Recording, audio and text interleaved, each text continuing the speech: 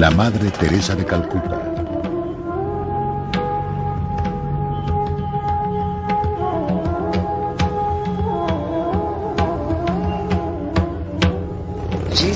Jesús mismo dijo, ámense los unos a los otros como yo los he amado. Y los pobres entre los pobres han sido creados por la misma mano amorosa de Dios. Así que por lo tanto son nuestros hermanos y hermanas, sin importar de qué religión, nacionalidad o color sean, mi hermano, mi hermana. Se le conocía simplemente como Madre Teresa. Su obra entre los pobres y moribundos de Calcuta la convirtieron en una de las mujeres más famosas del siglo XX. Su mensaje era sencillo y era extraordinariamente carismática.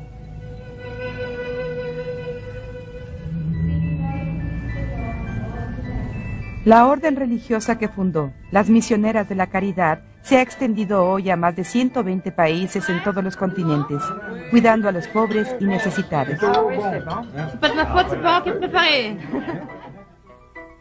Pero la Madre Teresa también era una figura controversial. Se codeó con ricos y poderosos mientras pedía dinero para los pobres y se convirtió en una celebridad.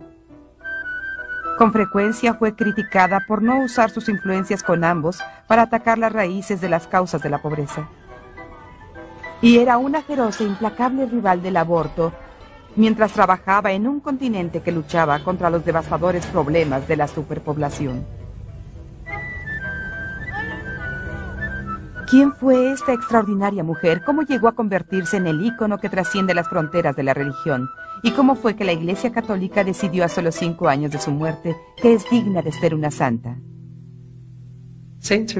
Los santos no son Dios, son seres humanos, tienen defectos, tienen dificultades y problemas en la vida que con la gracia de Dios superan como mejor pueden. La madre nunca me dijo, yo soy cristiana. La madre nunca bautizó a nadie. La madre solo servía y lo hacía por la paz. Se entregó a sí misma por este trabajo. Y cuando intenté hacer lo mismo, veo lo difícil que es. Es agradable pensar que van a declarar beata y luego santa a alguien a quien conociste personalmente pero para nosotros, cuando vivía ya era una santa. Eso lo podíamos percibir.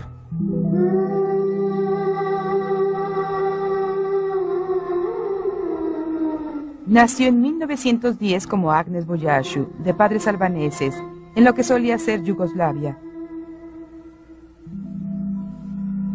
A los 18 años, se unió a la Orden de Loreto y fue asignada a su escuela en Calcuta. El autor y cineasta francés Dominique Lapierre narró su vida en su película En el nombre de los pobres de Dios. Muchas veces visité con ella el convento de Loreto en Calcuta. Y debo decirles que el convento de Loreto en Calcuta es realmente un oasis de vida lujosa en el corazón del increíble desastre urbano que Calcuta puede ser.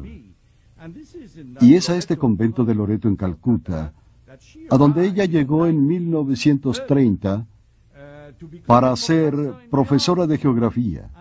Y sus estudiantes, sus pupilas, eran las hijas de la acaudalada sociedad local. La Madre Teresa estuvo ahí hasta un día en que, eso lo contó después, un día en que tomó un tren para ir a Darjeeling en el norte de la India, al pie del Himalaya, para un retiro, y repentinamente escuchó en medio de la noche una voz.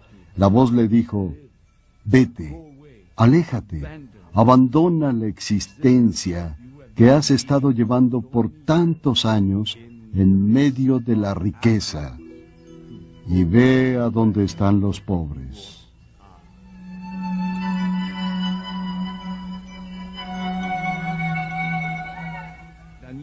Y más allá de los muros del convento de Loreto estaban los barrios pobres de Calcuta.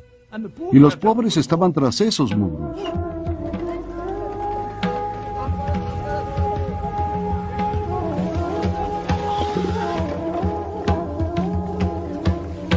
Así que finalmente, un día, ella abandonó su hábito, el hábito de Loreto. Fue al bazar, compró un tramo de tela, esa tela blanca con el borde azul, e inició una nueva congregación con el permiso del Vaticano, claro, después de considerables trámites.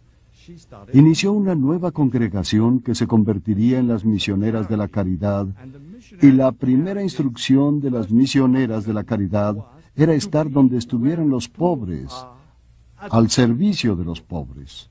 El padre Cristian Miñón asistió a la celebración en la cual se establecía la nueva orden. Aún recuerdo lo confundido y sorprendido que estaba cuando entramos al jardín donde vi a mi derecha a un grupo de mujeres que estaban limpiando sus utensilios. Empezamos a subir las escaleras y frente a nosotros vi a un niño desnudo bajando y recuerdo haber pensado, este es realmente un convento muy raro. El hindú Amar Bhattacharya se sintió cautivado por la vida y obra de la Madre Teresa y realizó una película sobre ella. La madre trabajó con nosotros en Calcuta por muchos años. Y antes de que se convirtiera en celebridad, ya trabajaba con nosotros. Y lo que ella hacía era tratar de ayudar a los pobres entre los pobres. No nos preguntábamos si era una persona religiosa o no, solo servía a la humanidad. Y eso era maravilloso. Mi sorpresa con ella era verla caminando por uno de esos callejones de los peores barrios de Calcuta. Y esos son en realidad lugares infrahumanos. La Madre Teresa ahí, esa silueta vestida de blanco, el sari blanco con azul, caminando entre esas personas. Y de repente cuando caminaba, podías ver cómo se iluminaba la expresión de todas esas personas. Ella saludaba a alguno, cargaba un bebé, repentinamente comprendías que mientras ella pasaba, había una ola de esperanza.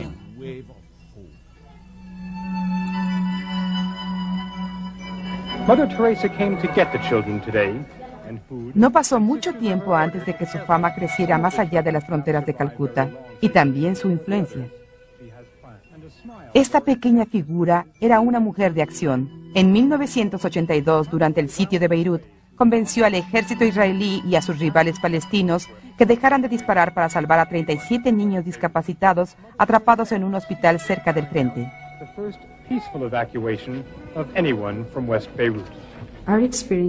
Nuestra experiencia era que cuando se le pedía a la madre algo grande, siempre provenía de su plegaria. Esto es algo de la hermosa combinación de un fuerte carácter que también podía rendirse a la voluntad de Dios. El filántropo canadiense Jean Vanier, fundador de LARGE, cadena internacional de hogares para discapacitados mentales, era amigo de la Madre Teresa. Es una campesina. Y como muchos campesinos, está cerca de la tierra, no en las nubes. Su religión no estaba arriba en las nubes. Su religión no era una ideología. Su religión estaba centrada en cada persona y toda su vida se trataba de la compasión. Y particularmente la compasión por aquellos viviendo una pasión.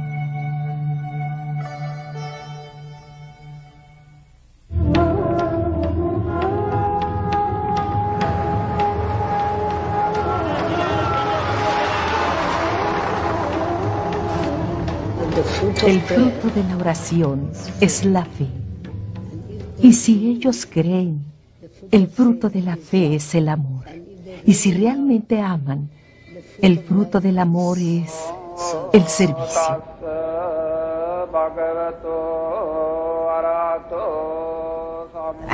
No creí que la madre se fuera tan rápido. Se fue muy rápido. Cuando estaba muriendo, yo pensaba, la madre volverá. Sé que volverá. Y así que fue muy rápido al final demasiado rápido realmente. No... No lo esperábamos. Si mal no recuerdo, murió a las siete de la noche. Y esa misma noche, una multitud realmente invadió el convento. Tuvieron que llamar a la policía. Sin la ayuda de la policía, no habrían podido hacer nada los días siguientes. La muerte de la Madre Teresa en septiembre de 1997 provocó una tremenda expresión de dolor en la India. En ese país solo un 3% de la población es católica.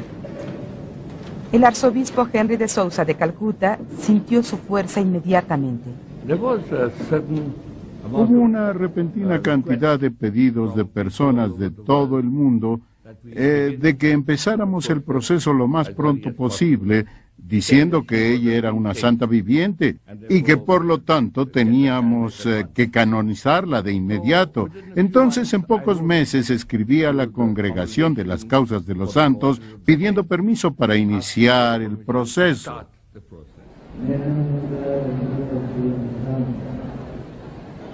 No es fácil convencer al Papa de que alguien merece ser oficialmente reconocido como santo. Es un proceso que frecuentemente tarda siglos, pero en el caso de la Madre Teresa fue rápido. Poco después de su muerte, una oficina de beatificación de la Madre Teresa fue establecida en Calcuta e inmediatamente se empezó a recolectar evidencia de su santidad. El investigador en jefe fue el obispo de Baruipur, el obispo Salvador Lobo. Primero, el mismo Papa emitió la dispensa de espera de cinco años después de la muerte para abrir el caso. Y segundo, aquí en la India, especialmente en Calcuta, yo escuchaba una y otra vez que una persona como la Madre Teresa no necesitaba un sello de la Iglesia Católica para ser llamada santa. Es una santa y será una santa. Así que esa fue una de las razones por las que el proceso tenía que ser acelerado, por así decirlo, pero no tomó un atajo. Los testimonios de las personas que habían conocido a la Madre Teresa empezaron a llegar. Esto fue algo único en la historia de la Iglesia, pues teníamos hindúes, musulmanes, parsis y personas de todas las religiones dando testimonio sobre una persona como la Madre Teresa, sobre su santidad y la práctica de sus virtudes. Eso fue algo hermoso, según descubrí.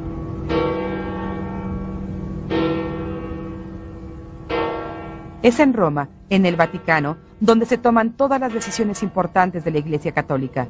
Todo el material de Calcuta fue enviado a la oficina de Roma del equipo de beatificación. El padre Brian Kolodichuk, un canadiense misionero de la caridad, fue escogido por la orden para ser el abogado de la Madre Teresa. Su tarea era convencer a las autoridades del Vaticano que la Madre Teresa era una santa. En dos años recolectamos el equivalente a, grosso modo, de 80 volúmenes de material. Es lo que tenemos aquí. Enséñenos. Claro. Hay miles de páginas ahí. Tuvimos 113 testigos orales. Eso significa que teníamos un cuestionario de aproximadamente 263 preguntas, ya que es una investigación de vida y cubrían virtudes y reputación como santa. Así que es el cuestionario que también tenía que cubrir su vida, luego todas las diferentes virtudes y finalmente la reputación de santa. Así que tenemos el primer volumen de lo que se llama en latín positio. El documento final, la positio, es lo que Brian espera que convenza a las autoridades del Vaticano y finalmente al Papa. Pero los testimonios solo no bastan. Antes de que la Iglesia pueda declarar a alguien como beato, se necesitan pruebas de que un milagro ha ocurrido en la intercesión de esa persona. No es fácil probar un milagro. En el caso de la Madre Teresa, esto llevó a cierta controversia. La Congregación para las Causas de los Santos recomienda al Papa quién debe ser canonizado. Monseñor Robert Sarno, uno de sus miembros, explica por qué los milagros son tan importantes. El milagro es visto por la Iglesia como confirmación divina de que sí, la persona está presente en el cielo con Dios y lo que la Iglesia está por hacer puede hacerse porque la persona está en realidad en el cielo con Dios. Entonces es confirmación divina de lo que es un juicio humano. En el caso de la Madre Teresa había grandes posibilidades, pero los defensores de su causa concordaron en esta, la repentina y misteriosa cura de Mónica Bella, que padecía una enfermedad crónica. Esta señora tenía una larga historia de estómago hinchado y tenía que hacerse una operación. Eh, vino al hospicio de la Madre Teresa. Era la víspera del primer aniversario luctuoso de la Madre Teresa y ese día a la noche rezaron y una hermana le puso una reliquia de la Madre Teresa en el estómago y rezó sobre él. Y cuando despertó por la mañana, no tenía nada en el estómago. Entonces le preguntaron si había evacuado o algo, si había habido sangrado o cualquier otra cosa, y ella dijo, no, solo desperté y estoy bien. Y esa fue la desaparición orgánica de un gran trozo de materia que estaba en su estómago, y la intercesión de la Madre Teresa era clara y el hecho no podía ser explicado por causas naturales.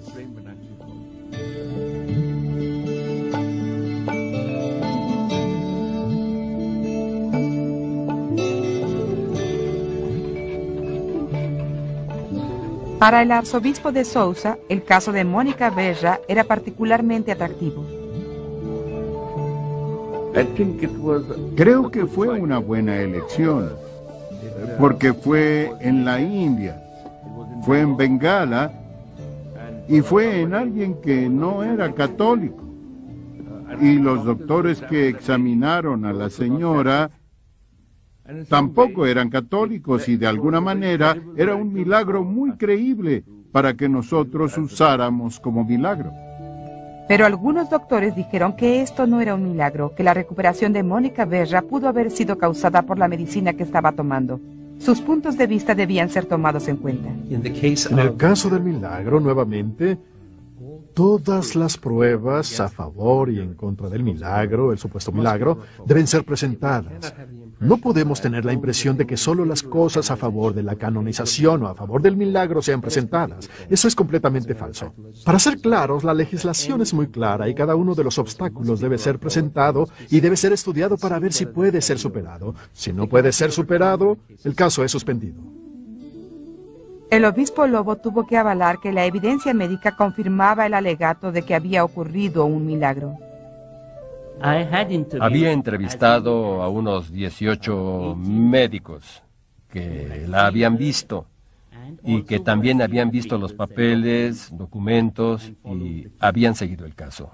Todo estaba claro como el cristal. Por lo tanto, esta controversia era más, yo diría, una controversia inventada. Solo para aclarar esto, ¿qué pasa con los doctores de Bengala Occidental que dijeron que no fue un milagro? ¿Qué les pasó? ¿Qué les pasó? Pues fueron invitados. Los esperamos meses. ¿Para qué? Darles otra oportunidad. Por razones personales, no quisieron involucrarse en una investigación de la iglesia y por la evidencia de los documentos, no hay duda de la veracidad del milagro.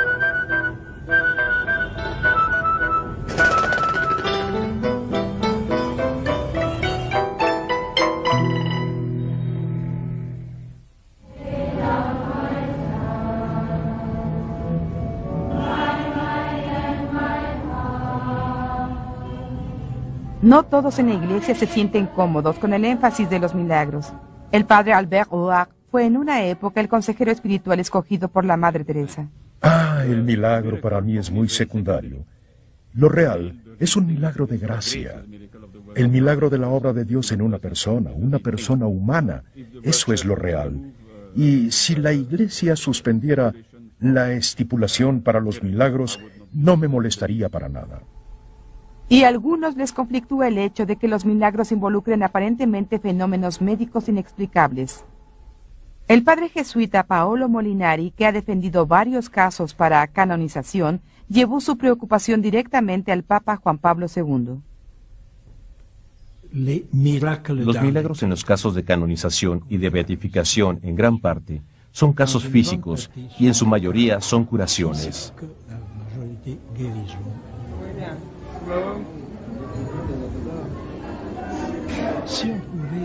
Si pudiéramos presentar como confirmación el hecho de que un número considerable de hombres y mujeres han cambiado su vida, porque han sido influenciados por el ejemplo de esa persona. Sería lo ideal.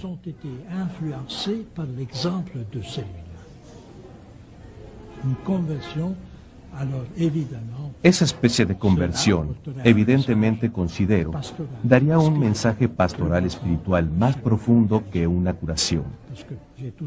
Siempre titubeo un poco cuando se trata de evaluar un milagro, pues las personas se ven siempre atraídas por lo espectacular. Todos los hechos a favor y en contra de la Madre Teresa fueron examinados y la Congregación para las Causas de los Santos decidió presentar el caso al Papa, seguros de que estaría de acuerdo en que ella merecía ser beatificada ya y eventualmente canonizada. Hay historiadores, teólogos, canonistas, doctores en medicina, involucrados en las diferentes etapas del proceso, de manera que cuando los resultados finales llegan al Santo Padre, esos son. Son resultados de estudios de varios grupos de personas. Luego el Santo Padre da un juicio final. La Madre Teresa es descrita ahora como beata pero aún no es una santa. Sin embargo, ha llenado todos los requisitos para la canonización. En el paso siguiente y final para la canonización, no hará falta otra investigación sobre su vida, pero la Iglesia necesitará la prueba de un segundo milagro. Pero, ¿cuál es la diferencia entre beatificación y canonización? La diferencia en realidad es muy sencilla. Con la beatificación el Santo Padre permite la veneración litúrgica en un área local restringida. Por ejemplo, un beato de Canadá podrá ser venerado litúrgicamente solamente en Canadá, mientras que la canonización es el acto mediante el cual el Santo Padre ordena que el santo sea venerado litúrgicamente en toda la Iglesia Universal. Pero encontramos dificultades con la beatificación y canonización en el caso de la Madre Teresa. ¿Cómo se puede hablar de un culto local a una persona que es conocida en el mundo entero, cuya orden religiosa, las misioneras de la caridad, se encuentra en todo el mundo? Hemos llegado al momento, espero, en que la Iglesia y el Papa mismo reconsideren esta duplicación. Yo la llamo duplicación, por así decirlo, para ver si fuera posible unificar las dos, a fin de que si el Santo Padre llega al momento en que esté convencido de que esta persona es digna de veneración en todo el mundo, pueda haber una unificación de beatificación y canonización.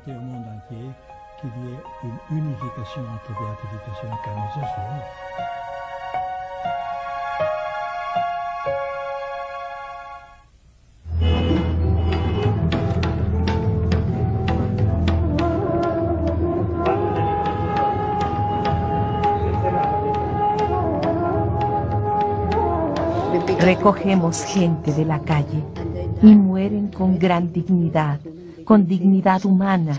Son hijos de Dios, porque yo creo que morir en paz con Dios es el mayor logro de la vida humana.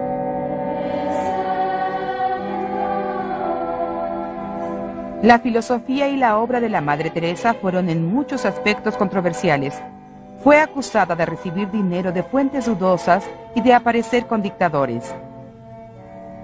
Cuidó de los moribundos y de los pobres entre los pobres, pero muchos la culpaban de no atacar las raíces de la miseria e injusticia. Sus críticos fueron muchos y muy elocuentes. Muchos escribieron libros y filmaron películas contra ella. También hubo alegatos que salieron en los periódicos, las revistas y hasta en libros. Tenían que ser examinados. Hasta Dominique Lapierre, uno de sus mayores admiradores, sintió la necesidad de cuestionarla. Esto es cierto. Es una de las mayores discusiones que con frecuencia tenía con ella sobre cambiar las raíces de la situación que ella estaba creando cuando estaba cuidando de toda esa gente pobre. Siempre soñé que la Madre Teresa iría a Nueva York e iniciaría una huelga de hambre frente al edificio de Naciones Unidas para decirle a los jefes y gobiernos del mundo, no pueden continuar permitiendo que esas injusticias tengan cabida en el tercer mundo. Deben cambiar la situación porque si no me voy a morir. Y ella siempre respondía con gran humildad diciendo, este no es mi camino. Hay otras personas para hacer eso. Yo estoy preocupada por el individuo. Gaston Robert, un jesuita del Colegio de San Javier de Calcuta, Fue eventualmente consejero de comunicación de la Madre Teresa. Él ve su influencia de otra manera. No solo no practicaba la política en el sentido estricto de la política, sino que en un sentido más estrecho ella no acusaba a nadie, no señalaba a nadie con la mano, no tenía que hacerlo. Su forma y estilo de vida bastaban. Destruir la vida de un niño es destruir la presencia de Dios en el mundo. El mayor destructor de la paz en el mundo de hoy es el aborto. Fue su inamovible postura en contra del aborto lo que causó las mayores protestas, particularmente en los países desarrollados. En India sus puntos de vista iban en contra de la política oficial del gobierno, familia pequeña, familia feliz. Estaba en contra del aborto, lo cual consideraba un homicidio. Pero ustedes deben saber que ella no estaba en contra de la planificación familiar. He visto y he participado de sesiones en donde sus propias misioneras le estaban enseñando a mujeres del lado pobre de la sociedad cómo limitar la cantidad de hijos.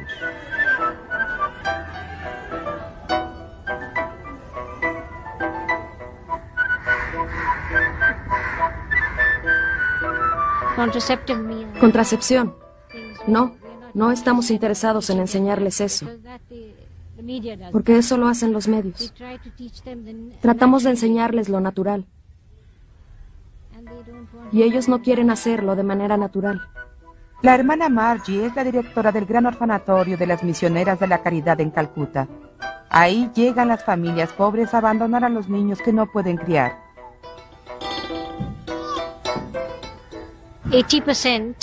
80% de ellos provienen de madres solteras, madres que no están casadas, que no pueden mantener a sus hijos por problemas sociales. Algunas de ellas han intentado hacerse un aborto.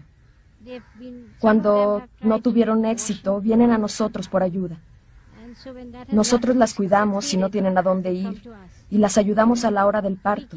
Y luego les preguntamos si desean al niño o si quieren darlo en adopción. Muchas de ellas los dan en adopción.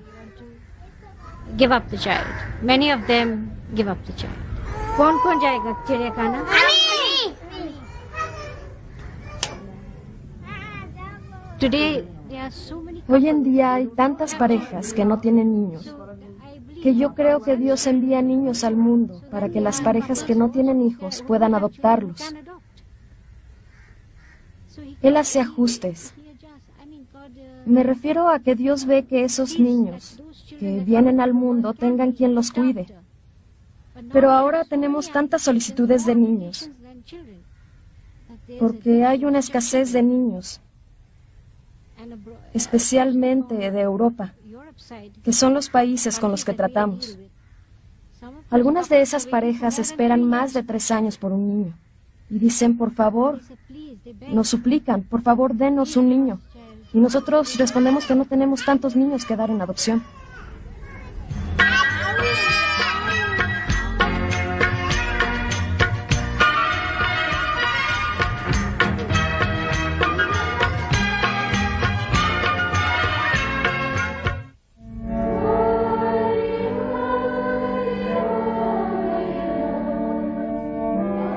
Lo más preocupante para aquellos que promueven su causa fueron las cartas halladas después de su muerte, que revelan que la Madre Teresa a veces dudaba de su fe. Llegó a escribir en su diario personal, Siento en mi alma que Dios no me quiere, que no es Dios, que en realidad no existe.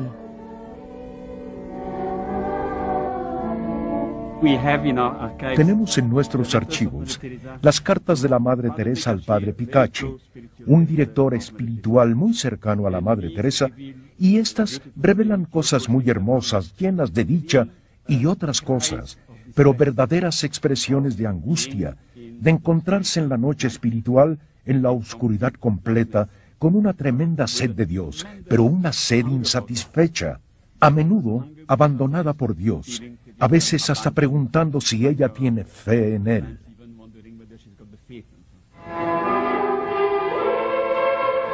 Ocultaba sus dudas a todos.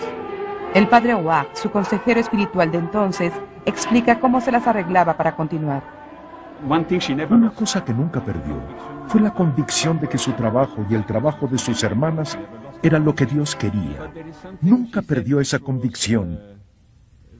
Dijo esto, Padre, sé que doy dicha a las personas y sé que cuando hablo sobre Dios y cuando hablo sobre Jesús y cuando hablo sobre el amor de Jesús por los pobres, les llega el mensaje. Sé eso, Padre.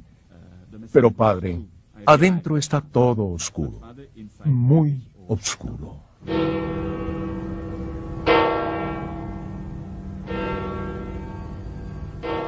Fue esa fuerza para continuar lo que al final convenció a los teólogos del Vaticano que estaban en presencia de una verdadera santa. Superó sus dudas con su fe, su fe en Dios. Superó sus dudas con la esperanza de saber que Dios jamás la abandonaría en la oscuridad, que Dios nunca la dejaría afuera, abandonada en ese cuarto oscuro de tinieblas y dudas. Eso debería ser alentador para nosotros, saber que la oscuridad de la muerte puede ser superada por la brillantez, la luz de la resurrección.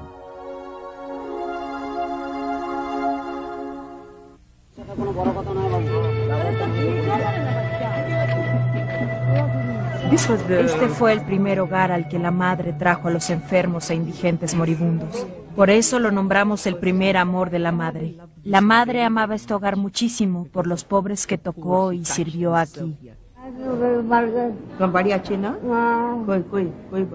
La hermana Georgina supervisa el cuidado y las actividades de Nirmar Hridoy. Estamos haciendo lo posible con la gracia de Dios, de realizar de manera pequeña lo que podamos hacer para ellos por salvarlos. De todos aquellos que han sido traídos aquí, no todos han muerto, porque en 51 años hemos traído más de 77.500 personas. De ellas, solo aproximadamente unas 35.000 han muerto. El resto ha vuelto a sus aldeas a trabajar.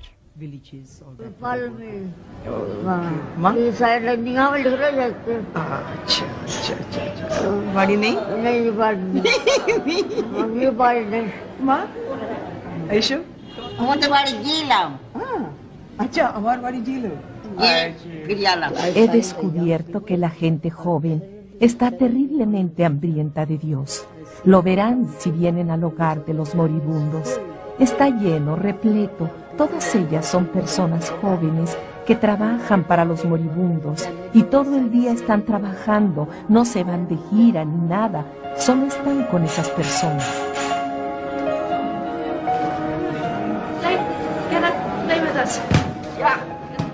Nirmal Hridoy, el hogar de los moribundos, fue la primera institución que la Madre Teresa fundara hace 51 años.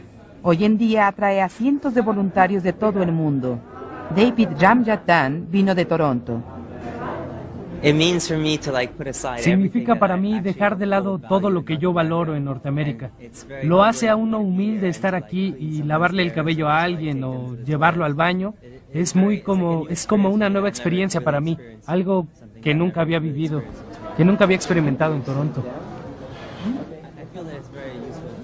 Siento que es muy útil porque he aprendido tanto de las personas que cuando vaya de vuelta a Canadá, cuando vea a alguien en la calle, entenderé un poco más. Espero poder hacer algo para ayudar a esas personas. Andy Rimmer vino de Alemania. Ha estado ayudando en el hogar de los moribundos por más de 14 años. Ahora organiza el trabajo de los voluntarios. Pero todos son bienvenidos a esta casa. Las personas vienen de todo el mundo, pagan mucho dinero para venir aquí y nadie los ha rechazado o enviado de vuelta. Ni yo fui enviado de vuelta. Yo tampoco tuve entrenamiento médico. Cuando llegué yo no servía para nada. Aquí todos son bienvenidos y todos pasamos un proceso de aprendizaje en esta casa. Aprendes mucho tocando a estas personas. Esas personas son los mejores maestros. A veces los voluntarios llegan y dicen, quisiera ayudar aquí, Me necesitan y yo digo, esa es la forma equivocada. Nadie es necesario aquí porque si tú no estás, alguien más lo hará. Las hermanas o los trabajadores. Pero si tú lo necesitas y llegaste, eres bienvenido. Y se transforman. La madre dijo, quien llega a esta casa siendo voluntario, visitante o paciente, se va cambiado. Las personas a veces aquí están solo cinco minutos, pero se van de la casa habiendo cambiado. Algo les toca el corazón. ¿Por qué quise venir en primer lugar? No lo sé. Solo quería vivirlo yo misma. Había escuchado sus historias y lo quería ver todo con mis ojos. Es todo. Esta posibilidad de, voluntario, de, ser voluntario aquí, ofrecía toda la flexibilidad que yo necesitaba en el tiempo y, y India en la, en, la, mente, en el imaginario personal, es, una, es, muy, es, muy, es muy atractivo. Supongo que es una experiencia que te hace humilde. Es muy gratificante. Recuerdo la primera vez que vine, creí que iba a dar mucho, pero cambié. Acabé yendo a casa recibiendo más de lo que he dado en ninguna parte. Como la madre dijo, para trabajar aquí no necesitamos buenas calificaciones. Lo que necesitamos es un buen corazón para amar y buenas manos para servir. Eso es fundamental.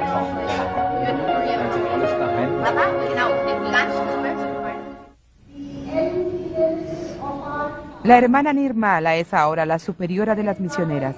Aún así, la orden religiosa de la Madre Teresa ha continuado creciendo a un paso asombroso. La hermana Nirmala María es asistente de la superiora general de la orden.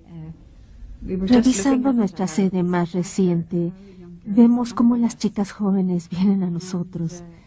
Y eso es un misterio también para nosotras. Porque nuestra vida es muy simple. Tampoco andamos reclutando chicas. Así que, de alguna forma, cuando las chicas ven a las hermanas en acción, las ven trabajando, las ven hasta en sus casas lavando su ropa, haciendo tareas simples, de alguna manera se conmueven. Así que nosotros no vamos a reclutar a nadie. Pero aún así parece que Dios envía a las jóvenes a nosotras y quieren servir a la gente pobre. La Orden de las Misioneras de la Caridad es la única orden religiosa que actualmente rehúsa vocaciones por falta de espacio. En todas las otras congregaciones se lamentan porque la edad promedio es de 70 años. En la de la Madre Teresa, la gente es de todas las edades y de todas partes del mundo. Muchas de nuestras jóvenes hermanas vienen de familias de aldea que llevan vidas muy sencillas. No son familias pobres o indigentes. Muchas de ellas han tenido cierta educación.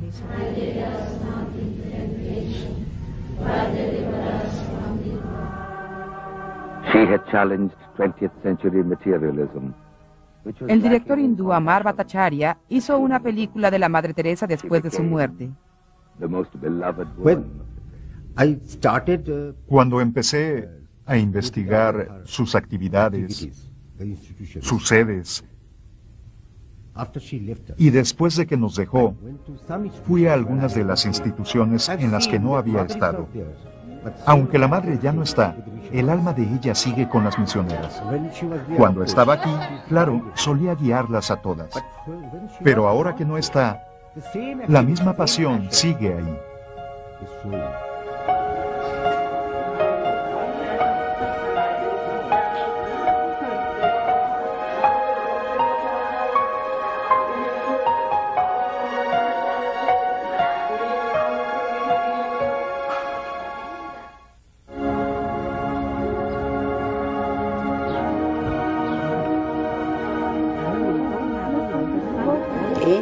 En Canadá, aún en el Canadá rico, hay personas que necesitan amor y cuidado. Al final de su vida, la Madre Teresa era una celebridad en el mundo occidental desarrollado. Había recibido los más altos honores, incluyendo el Premio Nobel de la Paz 1979. En Occidente se encontró con nuevos tipos de pobreza material. Pero también una pobreza espiritual que necesitaba atención. Si una persona está desnuda, le doy ropa. Si una persona está en la calle sin hogar, la llevo a mi casa e inmediatamente le doy lo que necesite. Pero si una persona no es deseada, no es amada, es desecho de la sociedad, está terriblemente sola, terriblemente herida. Todo eso toma mucho tiempo y es una situación muy dolorosa en el lado occidental del mundo. Las misioneras de la caridad están en muchas ciudades del mundo desarrollado, como Toronto y Montreal. La hermana Samuel es una de las cuatro hermanas que trabajan en Hochelaga Maisonneuve, en el extremo oeste de Montreal. ¿Qué significa ser pobre? Ser pobre significa carecer de algo que es necesario para vivir. Y podremos ser pobres, podremos tener hambre, no solo de comida, sino también de la palabra de Dios. Podemos estar sedientos no solo de agua, sino sedientos de ser dignos, de tener dignidad, de ser respetados. Su presencia en las grandes ciudades es discreta. No tienen grandes conventos, se instalan y trabajan en barrios comunes de bajo estrato, sirviendo a las personas. Nuestra primera actividad es en el centro diurno, donde recibimos gente a comer cinco días a la semana.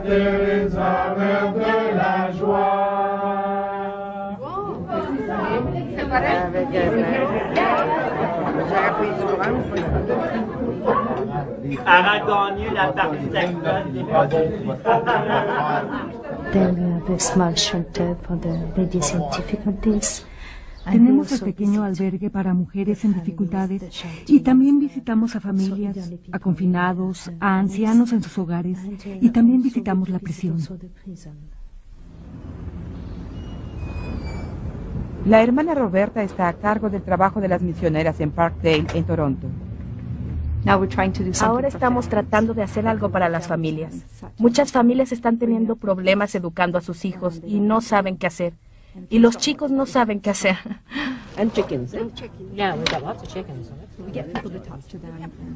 Entonces conseguimos personas que hablen con ellos y tratamos de ayudarles.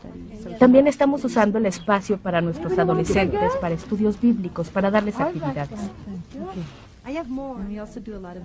Hacemos muchas visitas a las familias de refugiados y también a las familias de inmigrantes que han descubierto que no es tan fabuloso como creyeron que sería y no pueden conseguir empleo. Así que intentamos ayudarlos, ayudar espiritualmente y también tratamos de ayudarlos en lo material.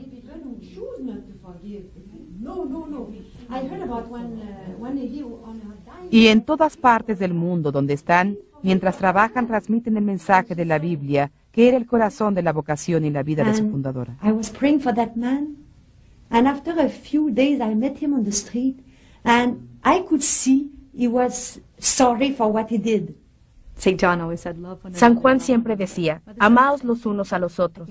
La madre decía lo mismo, pero creo que quiere decirle a todos que Dios los ama, que Dios los quiere. Eso es, y también que Jesús está en nuestros vecinos. Ella siempre decía que está en nuestras familias, que no tenemos que ir a un país tercermundista, que está ahí donde vivimos, en nuestros hogares.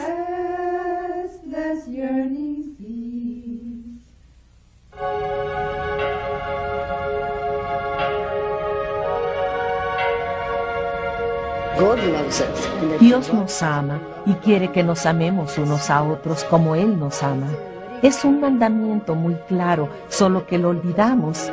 En el primer mandamiento Dios es claro y San Juan dijo la misma cosa. ¿Cómo puedes decir que amas a Dios al que no ves si no amas a tu vecino al que sí ves? Eres un mentiroso. Está muy claro.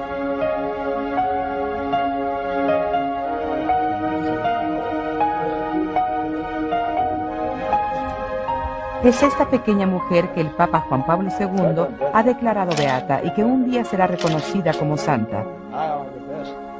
Esta sencilla campesina, esta alma en conflicto, esta superestrella de la prensa internacional, es incuestionablemente una figura que ha sido y será inspiración para muchos.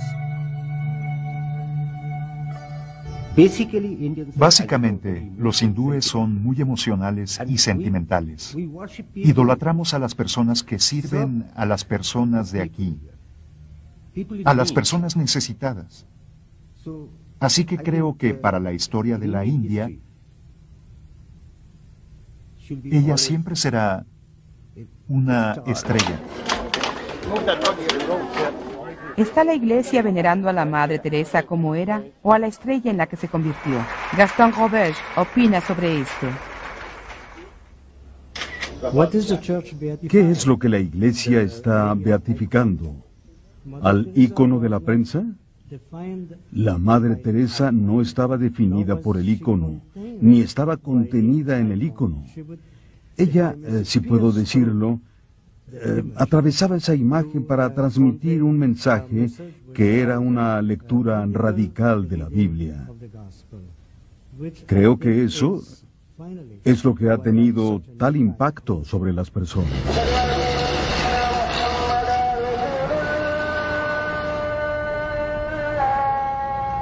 La decisión de la Iglesia de venerarla oficialmente está causando preocupación en la India.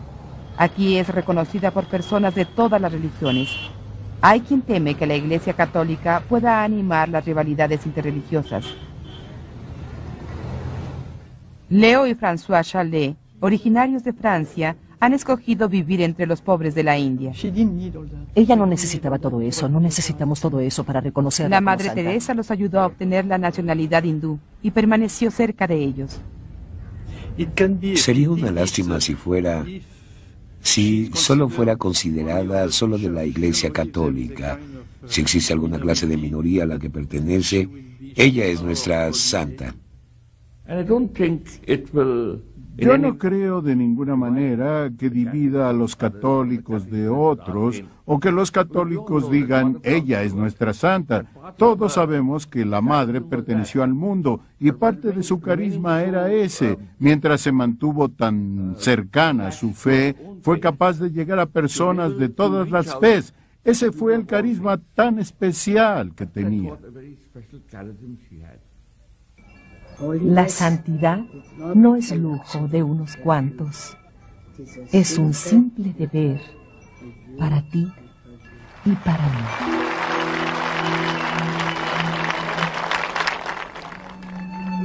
La Madre Teresa solía decir que todos los seres humanos son aptos para la santidad.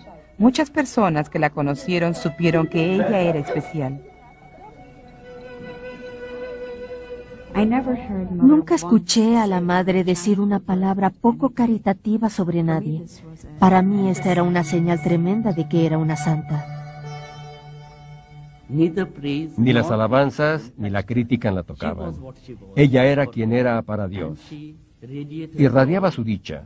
Era la embajadora de la paz a donde fuera y continuaba haciendo caso omiso de la crítica o la alabanza.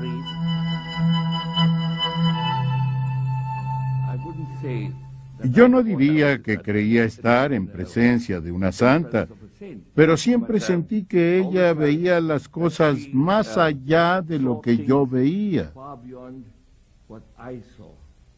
Y que a veces yo veía desde un punto de vista administrativo y ella lo veía desde otro punto de vista. Y en ese momento es posible que no estuviera de acuerdo con ella, pero más tarde me daba cuenta de que ella tenía razón. El Papa Juan Pablo ha dicho que la Madre Teresa se encuentra en la comunidad de los Beatos, un grupo de personas a los que realmente pertenece, según muchos testigos de su vida. Nos enfrentamos entonces y ahora a los mismos problemas que ella enfrentó, y muchas veces la invoco para pedirle inspiración divina sobre qué hacer. Fue muy bueno estar con ella. Con personas así te sientes bien. Son personas de Dios. La madre nos decía a menudo que ella sería más capaz de ayudarnos desde el cielo cuando se fuera. Y podemos sentir que todo eso se está volviendo realidad, ya que ella sigue con nosotros. El padre Cristian Miñón estuvo ahí hace 53 años cuando la Madre Teresa fundó las Misioneras de la Caridad. Igual que ella, ha pasado toda su vida adulta en la India. Para él, lo que ella ha logrado es verdaderamente singular. La Iglesia está por decirnos que la Madre Teresa realmente merece nuestra veneración. Pero eso solo ratifica lo que la gente de la India espontánea e inmediatamente declaró. Y para mí, el hecho de que personas no cristianas de la India fueran capaces de entender la real calidad de la Santa Madre. Ese es el mayor milagro de su vida.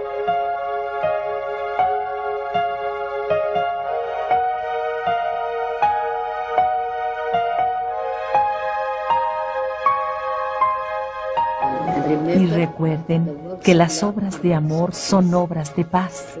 Recen por entender el tierno amor que Dios tiene por ustedes y por ser capaces de compartir ese amor. Dios los bendiga a todos.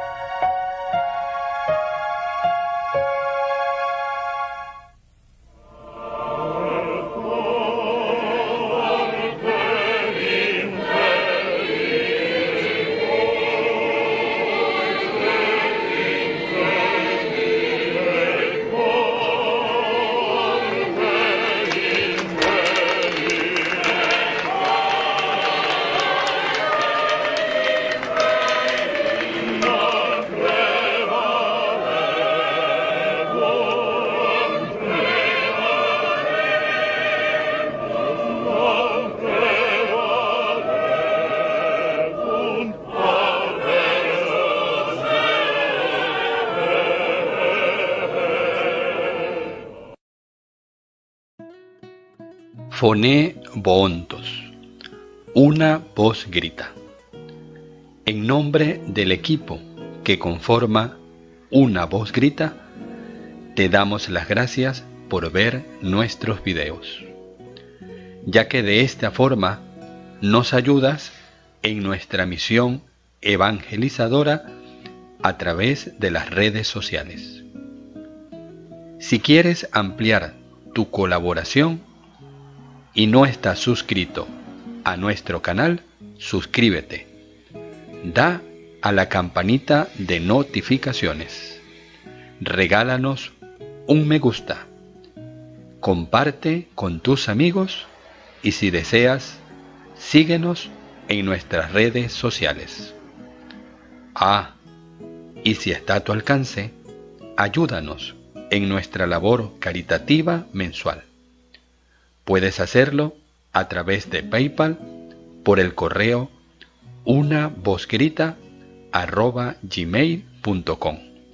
o contactarnos a través de este correo para ofrecerte otros medios por los cuales puedas tendernos esa mano amiga que tanto necesitamos. Dios y su Santísima Madre, que es nuestra Madre, te bendiga.